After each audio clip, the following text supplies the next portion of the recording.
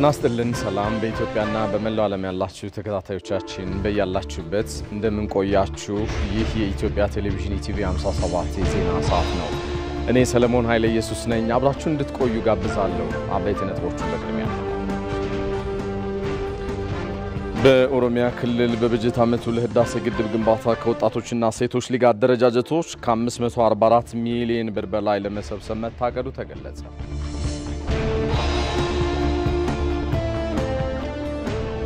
አሜሪካ ኢራን ዩራኒየም ማበልጸጓን አጠናክራ ቀጥላለች መባሉ እንዳሳሰባት አስታወቀች።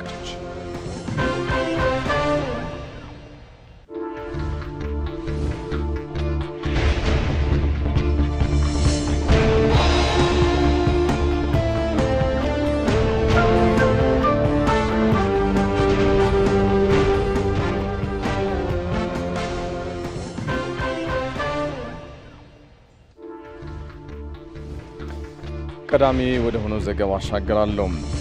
ከኢትዮጵያ መንግስት ጋር የጀመራቸውን ሁሉን አቀፍ የልማት ትብብሮች አጠናክሮ እንደሚቀጥል የፈረንሳይ የልማት ድርጅት አስታወቀም። ኢትዮጵያና ፈረንሳይ የረዥም ጊዜን ያስቆጠረ የትብብር ግንኙነት አላቸው ያሉት የፕላንና ልማት ሚኒስትሯ ዶክተር ፍጹም አሰፋም ይህም ከጊዜ ወደ ጊዜ እያደገ የመጣ ስለመሆኑ አመላክተዋል። በሀገር በቀል ኢኮኖሚ ሪፎርም ትግበራ ላይ የፈረንሳይ የልማት ኤጀንሲ ከፍተኛ ድጋፍ ስለማድረጉ ሚኒስትሩ አንስተዋል። የፈረንሳይ የልማት ኤጀንሲ የኢትዮጵያ ዲሬክተር ሉዊስ አንቶኒ ሶቺ በበኩላቸውም የፈረንሳይ መንግስት ከኢትዮጵያ ጋር የሚሰራቸውን የትብብር ስራዎች አጠናክሮ እንደሚቀጥል አረጋግጠዋል። በሁለተኛው ሀገር በቀል ኢኮኖሚ ሪፎርም ትግበራ ወቅትም መንግስታቸው ይህንኑ ድጋፍ አጠናክሮ እንደሚቀጥል ገልጸዋል። ኃላፊው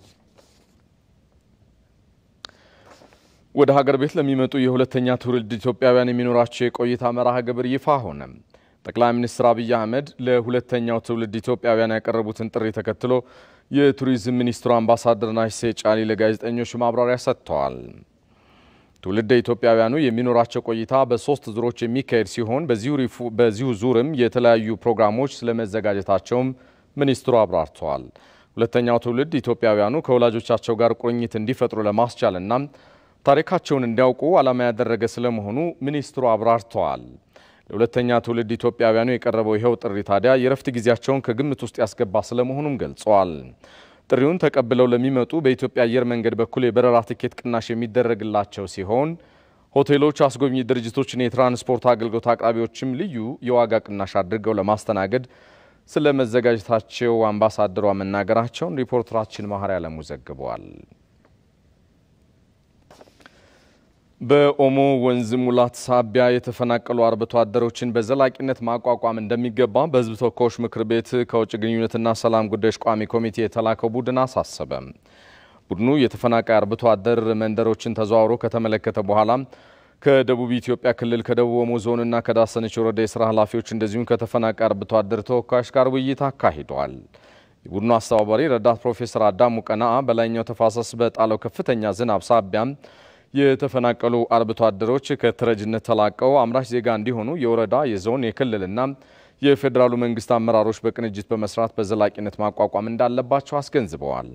የተፈናቃይ አርብቶ አደር ተወካዮች በበኩላቸው በተለያዩ አካላት የምግብ፣ የንጹህ መጠጥ ውሃ፣ የመጠለያ ሕክምናና አገልግሎቶችን ጨምሮ ሌሎች ድጋፎች እየቀረቡላቸው ቢሆኑም በቂ እንዳልሆነ ግን ገልጸዋል።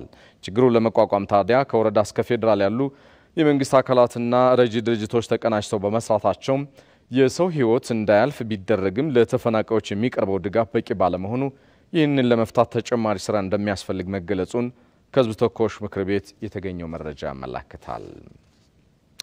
የተወደዳችሁ ኢቲቪ 57 ዜናችን እየተከታተላችሁ ነው። አሁንም አብራችሁን ዝለቁ።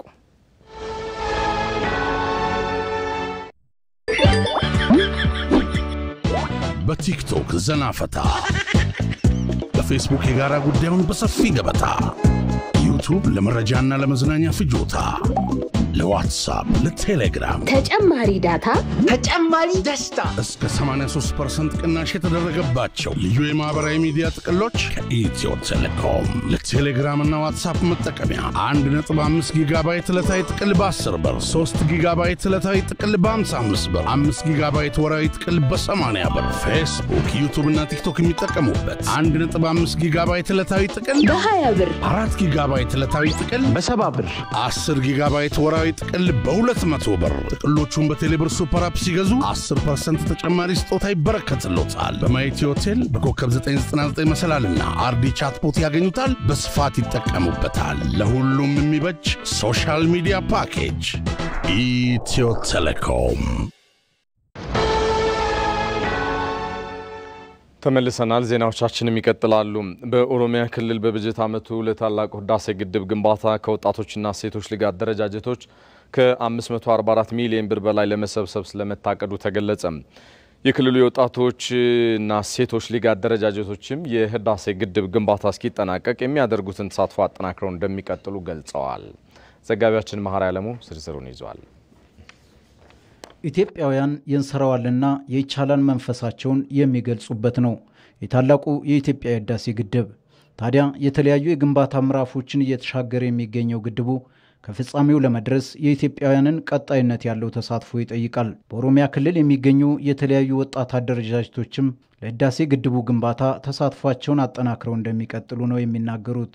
በሚቀጥለው ዓመትም ደግሞ ከዚህ በላይ ሰፊ የሆነ እቅድ አቅደን ባለን ወጣቶች ላይ በስፋት ንቅናቄን በመፍጠር ትልቅ አፈጻጸም ለመፈጸምና አባይ ግድባችንን ወደ መጨረሻው ላይ ደርሶ ስላለ ይህንም ጨርሰን ሰፊ አፈጻጸም ለሀገራችን ደግሞ ትልቅ spinal cord ያህል የሆነ ትልቅ ፕሮጀክት mega project ነውና ይህን ነገር ደግሞ አሁንም ወደ ወጣቶች ወርደን ይህ ግድብ የወጣቱ መሆኑን አዌርነስ በመፍጠር ወጣቱ የኔ ነው ብሎ እንዲሰራ ወጣቶች ላይ እንሰራለን ማለት ነው።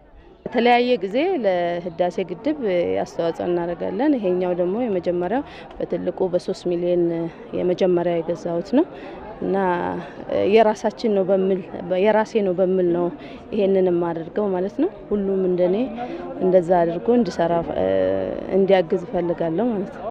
የክልሉ ወጣት አደረጃጀቶች የተለያዩ የህብረተሰብ ክፍሎችን በማቀናጀት በተያዘው በጀት ዓመት ከ544 ሚሊዮን ብር በላይ ለመሰብሰብ ስለማቀዳቸውም ነው የተገለጸው።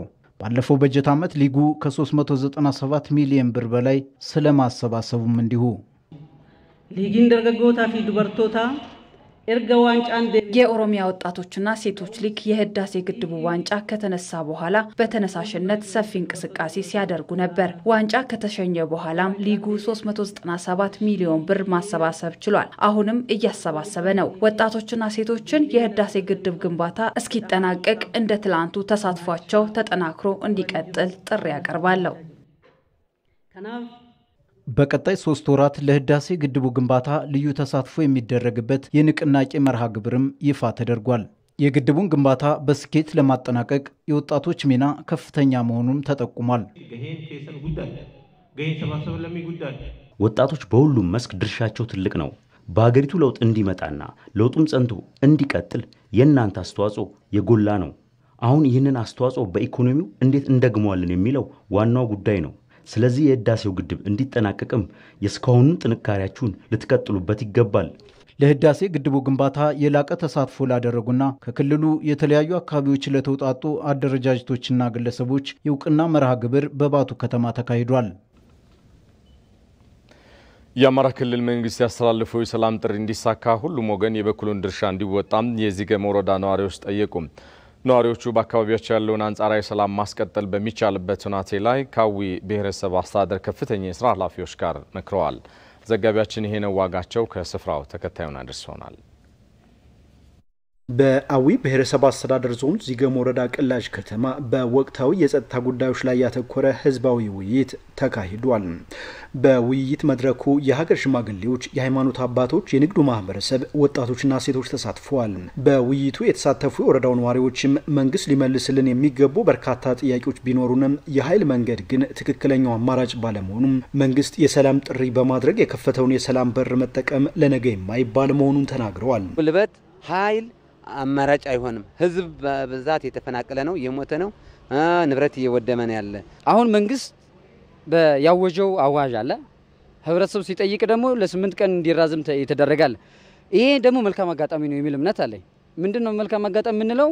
አንደኛ ልጆቻችን ተመክሮ እንዲመለሱ ከፍተኛ ቦታ ይሰጣል ነው። ሁለተኛ ደግሞ ማህበረሰብና መንግስት አንድ ላይ ተቆራኝቶ ጥሩ የህዝብን ጥያቄ ብቻ ሳይሆን የራሳቸው የሚፈልጉት ፍላጎትን ጥያቄ በጠረጴዛ ዙሪያ ለመወያየት ከፍተኛ አስተዋጽኦ ያበረክታል ብዬ አስባለሁ። የሰላም ጥሪው እንዲሳካ የበኩላቸውን ድርሻ ለመወጣት ዝግጁ መሆናቸውንም ነዋሪዎቹ አረጋግጠዋል። ሰላምን ለማስጠበቅ ከተፈለገ ምንድን ነው ሁሉም ኃላፊነት ድርሻ አለበት። ይህን ሰላምን ለማስቀጠል ምንድን ነው የሚጠበቅብን? አንደኛ ከራሳችን ነው መጀመሪያ ሰላም እንፈጥረው። እኛ ልጆቻችን ያልባሌ ቦታዎች የሚውሉትን ተመለስ ማለት አለበት። ለምሳሌ በሃይማኖት አባቶች፣ በሀገር ሽማግሌዎች ኢብኒፍ ራሱ በእናት በአባት ተመክሮ እንዲመለስ መደረግ ነው አንደኛው መፍትሄው ነው። ሁለተኛው መፍትሄ ደግሞ መንግስት የሰጠውን አዋጅ ማመንና መቀበል አለበት ነው። የዚገም ወረዳ ዋና አስተዳዳሪ አቶ እሱ ባለው ይሁን የፖለቲካ አመራሩ ከጸጥታ መዋቅሩ ጋር በመቀናጀት በተደረገው ርብርብ በጸጥታ ችግሩ ሊደርስ የሚችለውን ሰብአዊና ቁሳዊ ውድመት መቀነስ ስለመቻሉ አንስተዋል። በመንግስት መዋቅር ስር ሆኖ አሁን ቀበሌ አመራሩ በተሟላ መንገድ ስራውን እየሰራ ያለበት እኛም የፖሊስ አባላትን ሰላም አስከባሪ መድበን አካባቢውን ደህንነት እያስጠበቅን ያለንበት ሂደት ነው ያለው። በተቀሩም ሁሉም ወረዳችን ቀበሌዎች 18ቱ ቀበሌዎች ምንም አይነት የጸጥታ ችግር የለባቸውም። በሰላም በመንግስት መዋቅር መደበኛ ስራዎችን እየሰሩ ያሉበት ሂደት ነው ያለው። የአዊ ብሔረሰብ አስተዳደር ዞን ዋና አስተዳዳሪ አቶ እንግዳ ዳኛው ችግር ውስጥ ያሉ አካባቢዎችን ወደ ቀደመ ሰላም ለመመለስ ከህብረተሰቡ ጋር በመቀናጀት ጥረት እየተደረገ እንደሆነም ጠቁመዋል። አብዛኞቹ የዞናችን አካባቢዎች ላይ አንጻራዊ የሆነ ሰላም ነው ያለው። ይህንን አንጻራዊ የሆነውን ሰላም ወደ ተሟላ ሰላም ለማምጣት ችግር ያለባቸውን ወረዳዎች ደግሞ ወደ ነበሩበት ለመመለስ ከፍተኛ ጥረት እያደረግን ያለንበት ሁኔታ ነው ያለው። ዘገባው የአዊ ብሔረሰብ አስተዳደር ዞን የመንግስት ኮሚኒኬሽን ነው። ወጣቶች ከጥገኝነት አስተሳሰብና ከመንግስት ስራ ፍለጋ ስሜት ተላቀው በራሳቸው ስራ ፈጣሪ እንዲሆኑ የቴክኒክና ሙያ ተቋማት አዎንታዊ ሚና እንዳላቸው የደቡብ ኢትዮጵያ ክልል ርዕሰ መስተዳድር ጥላሁን ከበደ ገለጹ። በጎፋ ዞን ዛላ ወረዳ የጋልማ ኮንስትራክሽንና ኢንዱስትሪ ኮሌጅ ስራ ጀምረዋል። ዮሐንስ ፍስሐ ከስፍራው ተከታዩን አድርሰውናል። ወጣት ካርዞ ሙታ በጎፋ ዞን ዛላ ወረዳ ጋለማ ከተማ ነዋሪ ነው። እንደ ወጣቱ ገለጻ ከሆነ ከዚህ ቀደም በዲፕሎማ ደረጃ ትምህርት ተምሮ የነበረ ቢሆንም ስራ ማግኘት ግን ቀላል ሊሆንለት አልቻለም። አሁን ላይ እንደሱ አይነት የአካባቢው አጥ ወጣቶች የሙያና ክህሎት ስልጠና እንዲያገኙ የኢንዱስትሪ ኮሌጅ ተከፍቶላቸዋል። ይህም መደረጉ ለነ ወጣት ካርዞ አዲስ የመለወጥ ተስፋን እንዲሰንቁ አድርጓቸዋል። በቃ ከዚህ በፊት ሌላ ቦታ ሄደን ተቸግረን የምንማረው አሁን ወደ አካባቢያችን ስለመጣ በጣም ደስ ብሎናል። ያለውን አጥነን አሁንም ተምሬ ጨርሻለሁ። ቀጣዩንም ለመማር የምፈልገው እዚህ ቅርብ ስላለ ውጤቱን እዚህ አሻሽዬ እዚህ እማራለሁ ብዬ ስራ አጥ ነበርኩ። ተምሬ የተወሰነ አስራ ሁለተኛ ክፍል ጨርሼ እንደገና human resource management በዲፕሎማ ጨርሼ ነበረ። አሁንም የፈለግኩት field እሱ አልነበረም። በቃ አሁን አካባቢያችን ጥሩ field ኦች ስለመጡ እሱ መርጬ ተምሬ ሌላ ለውጥ ማምጣት እፈልጋለሁ። የጋልማ ኢንዱስትሪና ኮንስትራክሽን ኮሌጅ ስራ መጀመር ለአካባቢው ወላጆችም መልካም ዜና ሆኗል። በተለይ ከዚህ ቀደም ልጆቻቸውን የቴክኒክና ሙያ ትምህርት ለማስተማር ረጅም ኪሎ ሜትሮችን የሚጠይቅም ነበር። አሁን ግን ኮሌጁ ይህንን እንግልት የሚያስቀር በመሆኑ ጥሩ አጋጣሚን ፈጥሯል። እጅግ ከፍተኛ ጥቅም አለ። ብዙ አጦች በዚች ከተማ ውስጥም በዙሪያ ስላሉ የተለያየ የሙያ ትምህርት ተምረው ራሳቸውን ችለው ብቁ ባለሀብት የሚሆኑበት አቅጣጫ የሚያስቀምጥ ትምህርት ቤት ነው። ስለዚህ ለህብረተሰቡ የሚሰጠው ቀላል ነገር አይደለም። ርቆ ሄዶ ሳውላ ሄዶ ይማር ነበረ። ርቆ ሄዶ ካምባ የሚባል ቦታ ሄዶ ይማር ነበረ። በተለያየ ክህሎት ሙያና ክህሎት ራሱን አብቅቶ ወጣቱ ከስራ አጥነት እንዲላቀቅ ትልቅ ሚና ይጫወታል ነው። የደቡብ ኢትዮጵያ ክልል ርዕሰ መስተዳድር አቶ ጥላሁን ከበደን ጨምሮ የክልሉ ከፍተኛ የስራ ኃላፊዎች ኮሌጁን መርቀው ስራ አስጀምረዋል።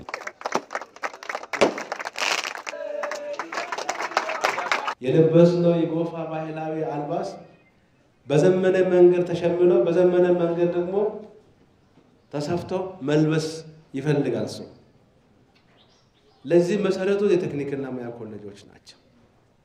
ስለዚህ ይህንን የጋልማ ቴክኒክና ሙያ ኮሌጅ በአጭር ጊዜ ውስጥ ተገንብቶ በክልሉ መንግስት እቅድ ውስጥ ያልነበረ ግን ደግሞ ፍላጎትን ማዕከል አድርገን በፍጥነት ተገንብቶ ወደ ስራ እንዲገባ ሲወሰን በአካባቢ ያለውን ፍላጎትና በተለይ የወጣቶች ቁጥር ታይቶ ፈጥነን የስራ እድል መፍጠሪያ እንዲሆን ማድረግ አለብን። የሚያመርት የሰውን እጅ የማይመለከት የመንግስት ተቀጣሪነትን ማይፈልግ ቁጭ ብሎ ሰርቶ ባለሀብት ሊሆን የሚችል ሰው ማልማት ወይም ማፍራት የምንችል ተቋም እንዲሆን ታስቦ ነው የተሰራ። አዲሱ የደቡብ ኢትዮጵያ ክልል መንግስት በ12 ዞኖችና በ99 ወረዳና የከተማ አስተዳደሮች የተዋቀረ ነው። ክልሉ ወደ ስድስት የሚጠጉ የክላስተር ማዕከላትንም በውስጡ ያቀፈ ነው። ክልሉ በዋናነት ሲደራጅ እንግዲህ ዋነኛ መግፊያ ምክንያቶች ከነበሩት መካከል የህዝቡ የመልማት ፍላጎት ነው። በዚህ በጋልማ ከተማ የተቋቋመው የጋልማ ኢንዱስትሪያል ኮሌጅም ህዝቡ እያነሳቸው ላሉ የመልማት ጥያቄዎችም መልስ መሰጠት እንደተጀመረ ሁነኛ ማሳያ ነው። ከዛ ውጪ እንደ ካርዞ ያሉ የአካባቢው ወጣቶችም በዚህ ኮሌጅ ተምረው ራሳቸውን ብሎ ማህበረሰቡን ለመቀየር እድልም የሚፈጥር ነው። ለኢቲቪ ዘገባ ዮሐንስ ፍስሐ ከጋለማ። ይህ ዜና በቀጥታ እየተላለፈላቸው የሚገኘው ከኢትዮጵያ ቴሌቪዥን ዋናው ስቱዲዮ ነው። የውጭ ዜና አሜሪካ ኢራን ዩራኒየም ማበልጸጓን አጠና